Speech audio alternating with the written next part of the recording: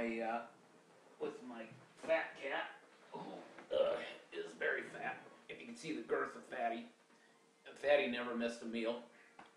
He uh, he loves his uh, food and treats. Fatty treats, treats, Fatty treats.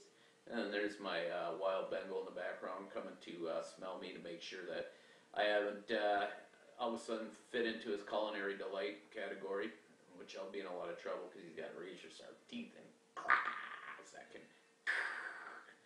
Easy, Simba. Uh, keep sniffing. I smell for salt water and I don't taste very good. Hope he buys it. Anywho, as you can see, Fatty, uh, Fatty doesn't really have a care in the world. He really doesn't. It'd be really nice to be a fatty. I mean, all you have to do is purr, sit around, lick your butt every once in a while, sniff the other cat's butt, and uh, occasionally strike your paw out at a passing object, whether it be me or Rocco, my rat terrier, or Don, or daughter Sophia. Anyways, hi Fatty. Kisses? Fatty doesn't give kisses, he just gives kisses. Hey Sammy Toes. So, Jeff Wiz, checking in. Thought I'd uh, spend some time in front of my webcam, because there ain't nothing else to do in Minnesota.